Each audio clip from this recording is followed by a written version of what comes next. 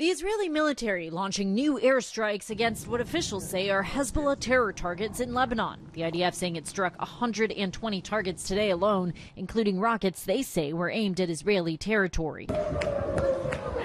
Hezbollah also increasing strikes into Israel over the last week. However, the Israeli military says Israel's air defense system intercepted most of those rockets. According to the Lebanese Minister of Public Health, at least 21 people were killed in eastern Lebanon today, and at least 33 people died on Saturday. Dozens more injured. Among those killed on Saturday, Nabil Kaouk, a high ranking Hezbollah commander. His death coming just one day after the terrorist group's leader, Hassan Nasrallah, was killed in an Israeli airstrike on Friday.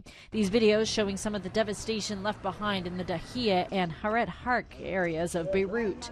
The White House says that Hezbollah's command structure has been nearly decimated and that thousands of the terrorist group's drones and missiles have been destroyed. I don't think we have a clear picture of exactly how much capability they have. Uh, you can't just count them out. They still have quite a bit of capability left. Today, the Israeli military says it has carried out a large scale air operation against targets belonging to Houthis in Yemen. In a statement, the IDF saying it blames Iranian transfers of weapons, supplies, and oil to the Houthis, adding the operation was in response to recent attacks by the Houthis against Israel.